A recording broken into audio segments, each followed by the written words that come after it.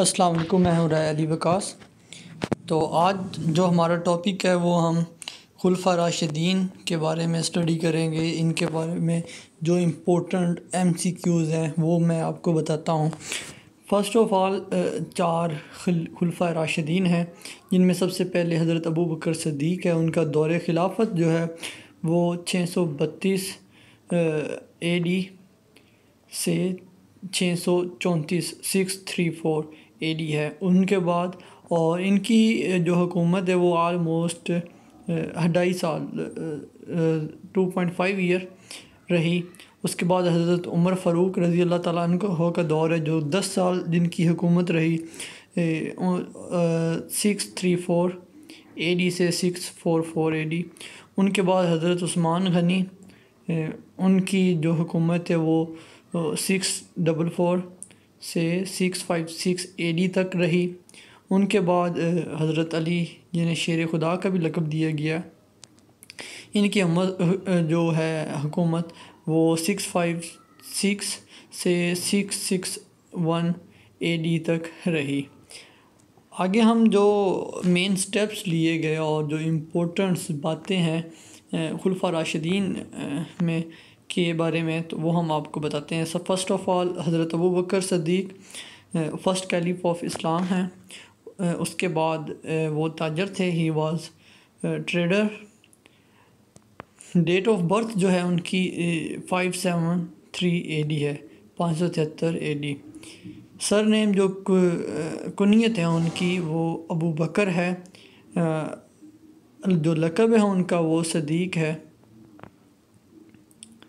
जो कबीला है हज़रत उमर, हज़रत अबू बकर का, वो बनु ताहम बनु ताहम है। कुरेश का एक कबीला जैसे हजूर का बनु हाशम है, इनका बनु ताहम है। बिफ़ोर कैलिफ ग्यारह हिजरी ग्यारह हिजरी को ये कैलिफ खलीफा बने हैं। Become caliph mother name Salma रज़ी अल्लाह जो खिलाफत का अरसा है, वो दो साल और तीन मंथ है। उसके बाद इशू ड्यूरिंग खिलाफत, जो मेन इशू हज़रत अबू बकर की खिलाफत में, वो फितना इरतमाद और फितना कज़ाब।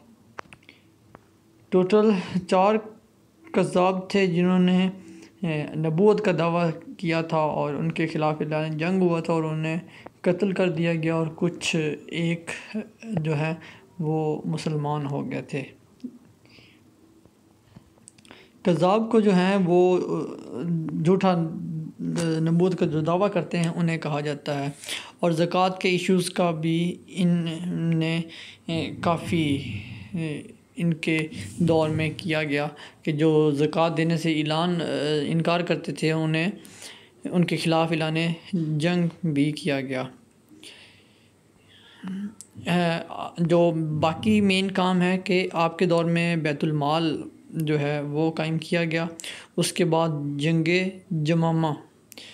जंग यमामा जो है डॉटर हैं एक हज़रत आयशा जो हजूर अकरम वसल्लम की तीसरी बीवी हैं।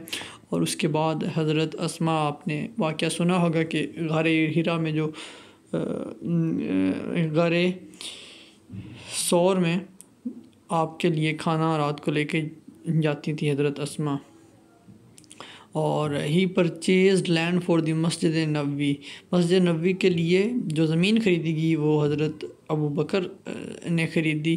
First man to embrace Islam और आप पहले शख्स थे जिन्होंने इस्लाम कबूल किया मर्दों में से। हज़रत बिलाल रज़ी को जो ख़रीद के आज़ाद किया, वो हज़रत अबू बकर सदीक ने काफ़ी भारी रकम दे के आज़ाद करवाया। और first open public address six one three हज़रत अबू बकर सदीक ने पहला जो खुतबा दिया है, ख़ताब दिया है, वो छः सौ तेरह में दिया है। रियल नेम अब्दुल्ला नाम है उनका। हज़रत अबू बकर सदीक का अब्दुल्ला नाम है जी। और हजूर के साथ गार सौर में ये साथी थे, गार सौर के साथी थे हिजरत की रात के साथी थे। बैटल ऑफ़ यमामा छः सौ बत्तीस ए डी में लड़ी गई है। उसके बाद जो मुसलमान कज़ाब के बारे, के साथ लड़ी गई है। इसने नबूत का झूठा दावा किया था। जो आपकी डेथ हुई है वो छः सौ चौंतीस ए डी तेरह हिजरी और बाईस जमादियुस्सानी ये उनकी डेथ हुई है। और आपकी जो कब्र है, वो अकरम वसल्लम के नज़दीक है। He punish the false claim of prophethoods और आपने जो नबूत के झूठे दावेदार हैं, उनको सज़ा दी, उनके ख़िलाफ़ ऐलान जंग किया। उसके बाद सोर्स ऑफ़ फ़ूड इन गार सौर गोट मिल्क था, बकरी का दूध था। गार सौर में तीन रात दिन गुजारे हैं और आपकी जो एज थी मुकम्मल, वो सिक्सटी थ्री ईयर्स थी।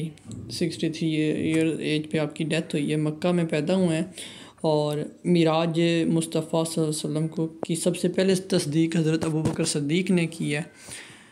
उसके बाद सदीक का जो मतलब है, वो ट्रुथफुल है, सच्चा। और हज़रत अबू बकर सद्दीक ने जो खलीफ़ा मुकर किया है who was appointed as the caliph by him हज़रत उमर को कैलिफ बनाया आपने, खलीफ़ा आपके बाद नामजद किया। और अहद खिलाफत में जो हज़रत उमर ने लिखा है हु रोड अहद खिलाफत अहदनामा खिलाफत, वो हज़रत उस्मान हैं जी। और मदीना में दो यतीमों से जो ज़मीन ख़रीदी गई मस्जिद नबी के लिए उसकी कीमत हज़रत अबू बकर ने अदा की। हज़रत अबू बकर की एज अठतीस साल थी थर्टी एट ईयर जब आपने इस्लाम कबूल किया। माजरीन में, माजरीन और इंसार में जो भाईचारा के दौरान आपको हज़रत हारज, खारज बिन जैद का भाई बनाया गया। गार सौर का रास्ता आपका जो ग़ुलाम था, अब्दुल्ला बिन अरकीत। आपने जो लौंडी थी हज़रत जुनैरा उनको आज़ाद करवाया और हजूर सल्लम की जो है एज में ही तो आपने सतारह नमाज़ें पढ़ाई, हजूर की वफ़ात से पहले। और इदा, हज़रत अबू बकर की इदारत के दौरान नमाज़ पढ़ाई, अलालत के दौरान वो हज़रत उमर थे। हज़रत अबू बकर के जो बेटे मशरकिन के साथ थे अब्दुलरहमान नाम था उनका।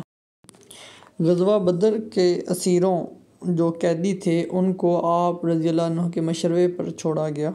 आपने तजवीज़ पेश की थी, जिस पर हजूर अकरम ने अमल दरामद किया, जबकि हज़रत उमर ने इसकी मुखालफत की थी उस वक़्त। मक्का में सबसे पहली मस्जिद जो बनवाई गई, वो हज़रत अबू बकर ने बनवाई। हज़रत हजूर ने हिजरत के दौरान दो उठियाँ, उठनियाँ जो ख़रीदी थी, वो भी हज़रत अबू बकर सदीक़ से ख़रीदी थी और हज़रत अबू बकर सदीक़ पहले खलीफा हैं।